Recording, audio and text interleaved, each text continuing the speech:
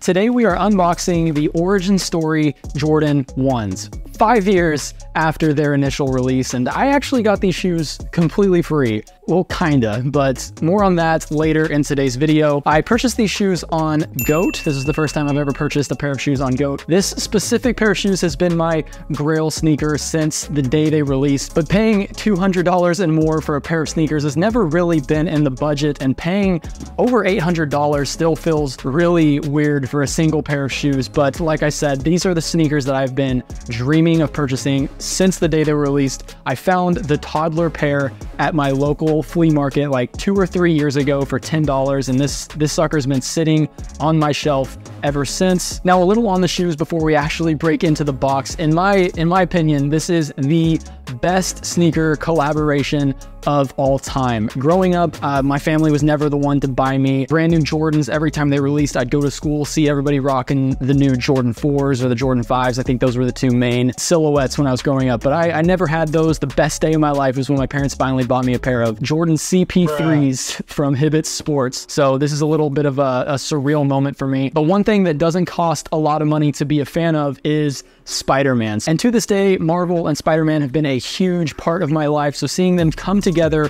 for these sneakers was absolutely insane and actually having them in hand right now, again, is just a surreal moment. So without rambling on anymore, let's get into the actual unboxing. Like I mentioned, I paid, I think $853.60 on GOAT for these sneakers. Um, I'm just now realizing that I didn't bring a knife or anything. Uh, luckily, I mean, kind of luckily, the box was like kind of opened over here. So I think we'll just like rip the tape off um, like this. It is interesting to me. For those of you who follow the channel, you know that I'm a am uh, a shoe reseller. Not really these kind of shoes, just more your everyday like uh, thrifting shoes, which is kind of how we ended up getting these shoes for free. But again, more on that in a moment. But it just it kind of baffles me that they don't bubble wrap or protect these shoes at all. But without complaining about something that's not really that important, um, the box is in mostly good condition. You can see this over here. There's a little uh, banged up spot on the corner, but other than that, cool packing paper. They come in the standard Jordan 1 box, which is fine. I wish I wish I could get my hands on the promotional box. Basically just had the uh, Spider-Man logo on the top here and more of a Spider-Man themed box. That would have been really cool, but uh, I think that those are going for over $2,000 now. So I opted for the uh, the regular box. Now, before we take these out of the box, there's one little thing that I'm concerned about is the translucent outsole. Since the shoe is five years old, I'm curious to see how they're kept. I mean, obviously coming from GOAT, they're brand new in the box. I, I just don't know how, not necessarily yellowed, but how discolored that outsole is gonna be. So we're gonna, we're gonna find that out together. Got a little GOAT Assurant Authenticity paper here. Uh, just some standard, standard wrapping paper. These things are crazy. And here's a good look at the shoes. The, the outsoles actually look to be in really good condition. As you can see, they are a little discolored around the edges, but honestly, for a five-year-old shoe, I think that these things look amazing. The leather is pretty good. I mean, I wouldn't say that they're the best feeling Jordans that I've ever had. They're definitely um, better quality than a lot of Jordans that I've held before, but the leather on these is immaculate. As you can see, they are basically a Chicago Jordan 1 silhouette with a few minor changes to uh, pay homage to the movie that came out. One, they have the blue translucent outsole, which is, is weird because Miles Morales did not wear shoes with the blue outsole in the movie. Are those my Jordans? I can't help it if we're the same size.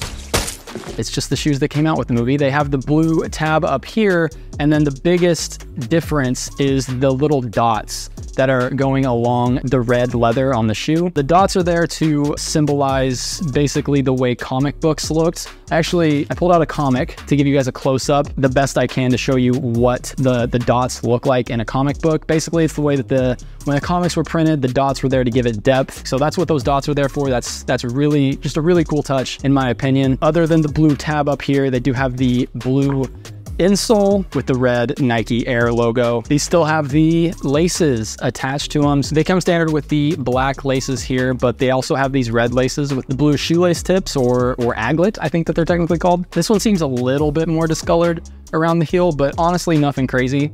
Um, I'm gonna be wearing these things anyway, so they're gonna get a little dirty. I do kind of wish that they didn't go with the translucent because I know that this is going to get uh, really dirty really quick, as you can see with the, the toddler ones that I have. They're basically brown, but overall, amazing pair of shoes. I think that I'm gonna try to get my hands on the, the second edition of this shoe that just came out, the Across the Spider-Verse Jordan 1s. I might be going for those next in the sneaker collection series, which is what this video is a part of. This is the first shoe that I have come across in my sneaker collection series, but I do, I really want to get the new Across the Spider-Verse Jordan 1s in hand to compare them. They're a lot more wild, a lot more out there, but I do love the simplicity of this one just a little bit more. I'm looking at the, the swoosh here, and it's also got a little bit of the dotted, the dots going along the inside, and then it's got like a patent leather outlining around it.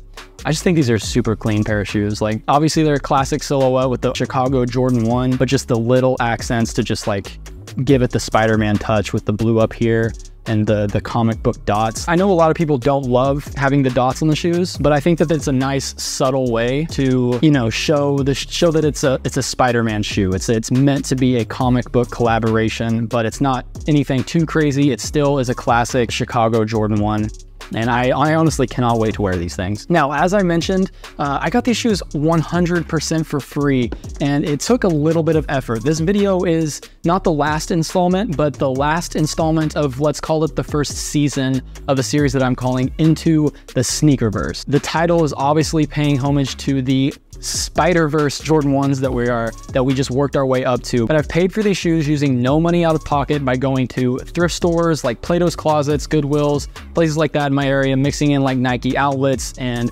retail arbitrage places like Ross and Burlington to try to find underpriced shoes that I can then clean up and then sell online for profit. And that's what this whole channel is based around. This is actually the first sneaker unboxing that I have ever done, but hopefully there's gonna be more to come because this is just the first pair that I'm adding to the sneaker collection that we are building up from the ground. Because as I mentioned earlier in the video, I've never really been super into collecting sneakers just because it's been a little bit out of my price range. But if I can get them for no money out of pocket, then I am more than happy to become a sneakerhead and finally get my hands on some shoes that I've always dreamed of having. This is still a surreal moment just having having a pair of shoes like this in my hand. Like this is an $800 pair of shoes. I still feel so weird paying that much money for these shoes, even though I technically didn't spend any money on them. But I have documented this whole process from day one with basically no money to put towards the sneaker collection. And now I've worked my way all the way up to these. So if you guys want to check out the entire series starting on day one, I'll throw a link up in the top corner of this video so you can go watch that. And like I mentioned, this isn't the finish line to the series. We are just getting started on an entire sneaker collection collection. So let me know down in the comments below